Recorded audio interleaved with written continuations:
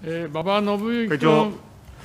えー、まず国民投票法改正案について、えー、山尾志織議員のご質問にお答えいたします。えー、国民投票法改正案については、粛々と議論を進め、一刻も早く結論を出す出すべきであり、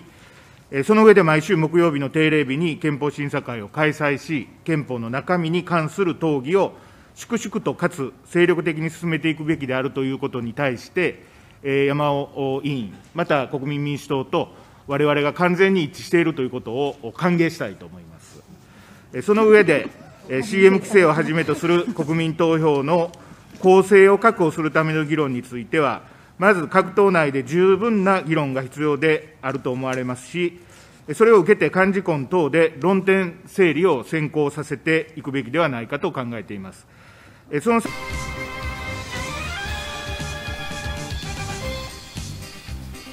조선 이끄는 힘 오세대다. 인민의 운명을 한 몸에 안고 우리가 바라는 분갈이 이상 모두 다 벗겨준 꿈 위대한 김정은 동지 우리는 당신밖에 모른다. 위대한 김정은 동지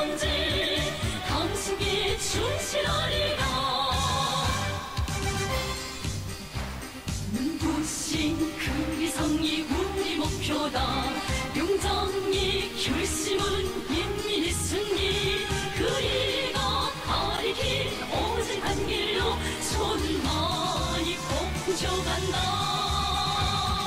위대한 김정은 동지 우리는 당신밖에 모르